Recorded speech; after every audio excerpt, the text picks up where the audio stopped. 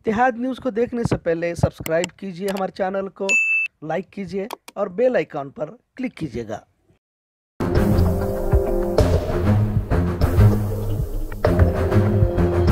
अस्सलाम वालेकुम रहमतुल्लाहि वबरकातुहू इत्तेहाद न्यूज़ में आप सभी का खैर मकदम है। बेलगाम जिला इंतजामिया की जानब से बारह मुख्तलिफ़ जुलूस इजलासों को किसी तरह की इजाज़त ना देने की बात कही गई थी, लेकिन देखा यह जा रहा है कि जिस तरह कोरोना गाइडलाइन का बहाना कर जुलूसों पर पाबंदी की मांग तो की जा रही है पर जमीनी सच्चाई यह है कि दिगर इजलास जुलूसों को नज़रअंदाज किया जा रहा है। लिहाजा आज भी कुछ कन्नड़ तंजीमों की जानब से राज्योत्सव यानी यौम रियासत कर्नाटक के मौके पर जुलूस निकालने की इजाज़त तलब फरमाई गई कन्नड़ तंजीमों की जानब से आज कन्नड़ साहित्य भवन में सहाफियों को बुलाकर कन्नड़ कायद अशोक चंदरगी ने इशारा दिया कि अगर कर्नाटक राज्योत्सव के मौके पर जुलूस की इजाज़त नहीं दी गई तो पूरी रियासत में एहतजाज किया जाएगा। आगे उन्होंने ये भी सवाल वज़ीर अला बम्बई से किया कि बेलगाम इंतजामिया कोरोना गाइडलाइन की कहानी सुनाते हुए किसी भी जुलूस पर पाबंदी की बात तो कहती है, जो निहायत झूठ है।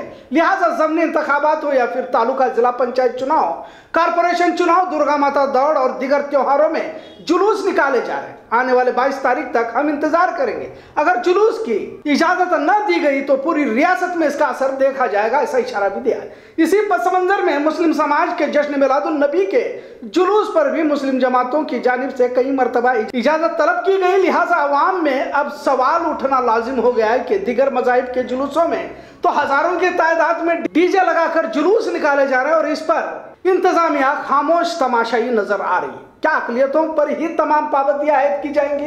ऐसा सवाल भी आवाम की जानब से पूछा जा रहा है। ताजुब तो उस वक्त होता है जब जुलूस में तलवारों को लहरा कर डीजे लगाकर आखिर क्या पैगाम दिया जा रहा है? कई कन्नड़ अखबारों ने न्यूज़ चैनलों ने इंतजामिया की तवज्जो दिलाने की कोशिश की है। कई न्यूज़ चैनलों ने इस पर सवाल उठाते हुए कहा कि आखिर ये किस तरह का त्योहार मनाया जा रहा है कि जब इंतजामिया के सामने ही तलवारों को लहराया जाता है तो कार्रवाई कितने लोगों पर हुई है?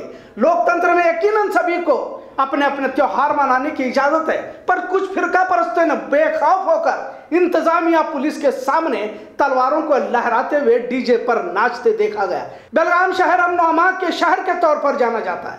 पर पिछले कुछ अरसे से यहाँ पर फिरका परस्ती का जहर घोलने की साजिश मुस्तकिल की जा रही है। आखिर तलवारों के साथ नाचने वालों पर कार्रवाई क्यों नहीं हुई? ऐसा भी सवाल किया जा रहा है। यकीन अपने मज़हब के तमाम रसूमात को अंजाम दिया जाए। खंड नवमी के वक्त हथियारों की पूजा की जाती है। किसान अपने हल की पूजा करता है। फैक्ट्रियों के पुर्जों की, मशीनों की यहाँ तक सवारियों की भी पूजा की जाती है। लेकिन इस तरह हथियारों को सड़क पर लहराने की इजाज़त किसने दी?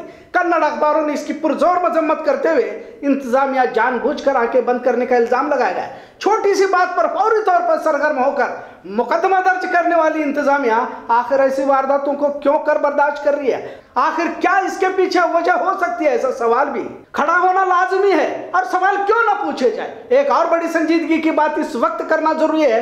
अब खुद वज़ीर अला बोमई और ईश्वरप्पा भी मुस्लिम मुखालिफ बयानबाजी करते देखे जा रहे हैं। ऐसा लग रहा है कि क्या हुकूमतों ने भी इस तरह की बयानबाजी करनी शुरू की है? जबकि वज़ीर अला के अहदे पर बैठे किसी शख्स को इस तरह की बयानबाजी जेब नहीं देती। आज सबक वज़ीर अला सिद्धरामैया के ट्वीट का जवाब देते हुए, जिसमें उन्होंने कहा था कि रियासत में मजहबी तशद को हवा दी जा रही है। लिहाजा कानूनी नज्म जब्त को बरकरार रखा जाए, वरना कुर्सी खाली की जाए, ऐसा मशवरा सबक वज़ीर अला सिद्धरामैया ने मुंबई को दिया था। लिहाजा इस पर जो ट्वीट वज़ीर अला मुंबई की जानब से आया है, इसे मजहबी तासुब से भरा लगता है। इन्होंने जवाब में ये ट्वीट किया है कि, तुम्हारे हुकूमत में हिंदुओं के कत्ल हुआ करते थे, जिस तरह टीपू सुल्तान के दौर में हुए हैं। लिहाजा बोम्बई हुकूमत हर तरह की कानूनी व्यवस्था के लिए काबिल है। बस और आज बोम्बई एक सेक्युलर जहन के शख्स के तौर पर देखा जाता है और जाने भी जाते हैं। लेकिन अहदावी इंसान को क्या से क्या बना देता है? जैसे सभी जानते हैं कि भाजपा महज मुस्लिम मुखालिफ पॉलिसी के ज़रिए ही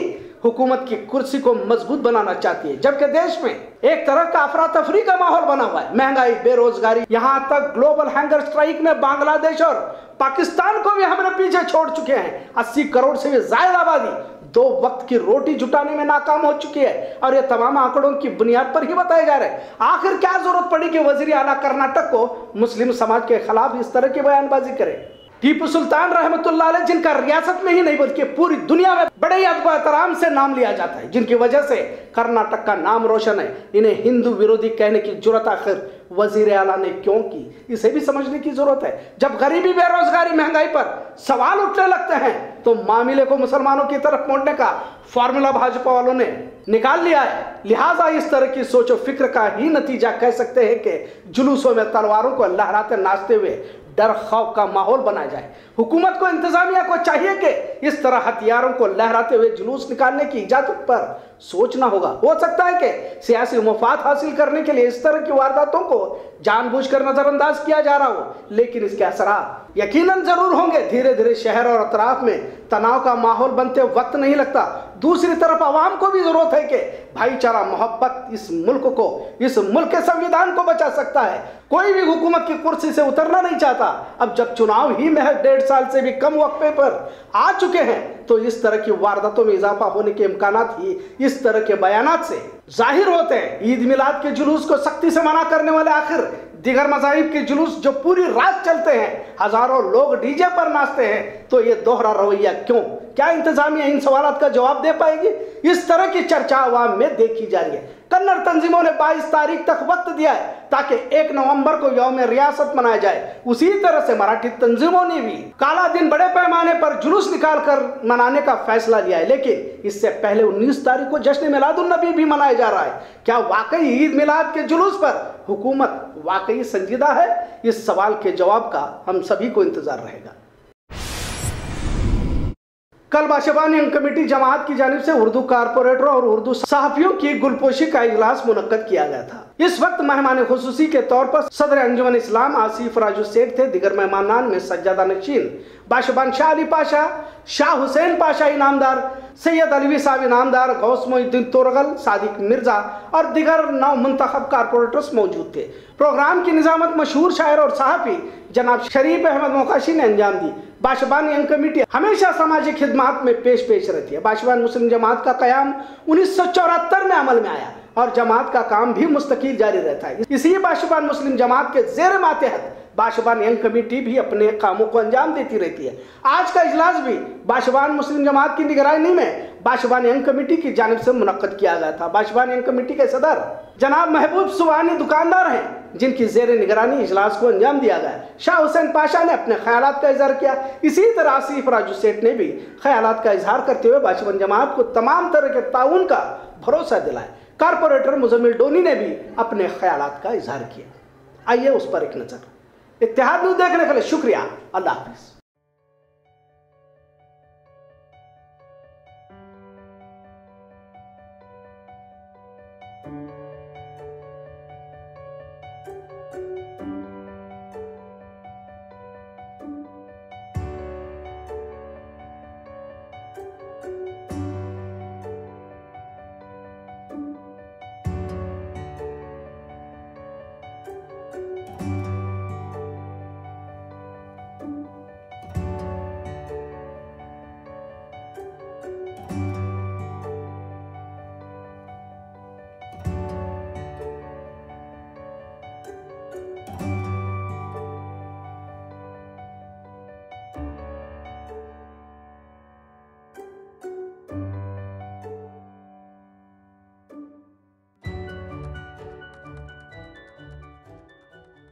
जिनसे दो आलम, वो तनवीर क्या होगी?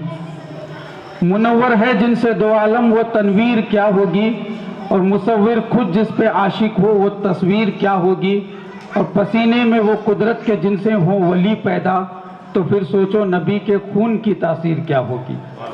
कभी महक की तरह हम गुलों से उड़ते हैं, कभी धुएँ की तरह पर्वतों से उड़ते हैं, ये कैंचियाँ हमें उड़ने से खाक रोकेंगी हम परों से नहीं, हौसलों से उड़ते हैं। इल्म है तो सब कुछ है तो इसीलिए तो काफ़ी सारे लोग ये बताए हैं knowledge is the beauty which enhances your personality knowledge is the beauty which enhances your personality ये लिबास कुछ नहीं है। कई सारे होते हैं जो माहिर होते हैं, अपने में संस्कृत भी पढ़ते हैं, सब कुछ करते हैं। अरे सर, ये तो एक जबान है। सीखने के लिए कोई रोक नहीं है। और ये सिर्फ़ इस्लाम बता रहा है कि तुम पढ़ते जाओ, आगे बढ़ते जाओ। और बढ़ना सिर्फ़ अपने लिए नहीं, इतना के सबके हक में पहुँचते जाओ। और ये पहुँचते पहुँचते यहाँ पर पहुँचे, जहाँ पर ये सबके दिलों में वो बैर आ गया है, जहाँ यहाँ पर एक अजीम इस डायस पे जितने यहाँ पर बैठे हैं, और सामने मौजूद और जितने मेरे आवाज़ सुन रहे हैं, वो सबके दिल में तमन्ना लेके जाएँगे, हम भी कुछ बनेंगे इन जिम्मेदारों के साथ। यहाँ पर जितने कॉरपोरेटर जमे हैं, उन जिम्मेदारों के साथ हम जमेंगे। और यहाँ पर पैगाम ये मिलेगा कि वो कौम के लिए भी करेंगे और दिगर लोगों के लिए भी करेंगे। ये इसलिए कि इस्लाम अकेला कहता है, लकुम दीन कुम वली हदीन। तुम्हारा मज़हब तुम्हारे लिए, मेरा मज़हब मेरे लिए। और जब इंसाफ की बात आती है, काम की बात आती है तो वहाँ पर कोई मज़हब नहीं होता।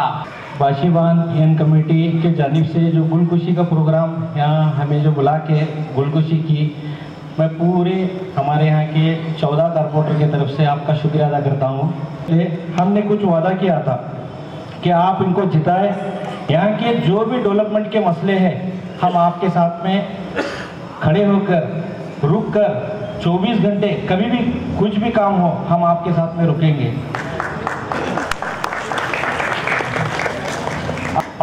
जैसे बात चल रही थी कि इकबाल जकाती साहब के साथ में मैं देखता हूँ अक्सर कि मुस्लिम चैनल में आज सबसे number one channel Ittehad news जो आज नंबर वन चैनल है, इनके पे मुसीबत इसलिए आ रही है कि हक के पर बात कर रहे हैं। तो जैसा इकबाल भाई ने बहुत मुश्किल से ये मकाम तक आए हैं, इकबाल भाई आप फ़िक्र मत करो कि चौदह कारपोरेटर आपके साथ में जब भी आप बुलाएँगे, हम आपके साथ में रुकेंगे। मेरी एक ही एडवाइस थी इन सबसे कि चौदह आप एक मुट्ठी बंद की तरह आप मिल के रहो। आप मिल के रहेंगे तो एक कौम को ताकत दे सकते हैं। अपने कामों को अंजाम दे सकते हैं। कोई ऑफिसर के पास अकेला गया, एक दो के गए। तो काम होना मुश्किल होता है, लेकिन अगर आप पूरे चौदह मिल के किसी के पास भी जाएँगे तो आपकी ताकत देख के आपके काम बहुत आसानी से होंगे।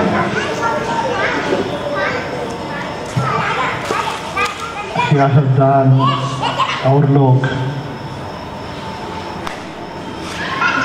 आपको बंटवारा करने की कोशिश करेंगे। लेकिन आप अपने कौम के बारे में सोचिए। अपने कामों के बारे में सोचिए। और अपनी एक यूनिटी के बारे में सोच के काम कीजिए। जब भी कोई अच्छा काम करने जाते हैं तो तकलीफ़ आते ही नहीं है। लेकिन जब आप लॉन्ग जंप देते हैं ना, जब लॉन्ग जंप देते हैं तो छः फीट पीछे जाते हैं। तो आप छः फीट पीछे गए, इसके बाद में आपकी जंप होगी और बहुत बड़ी फ़ील्ड होगी।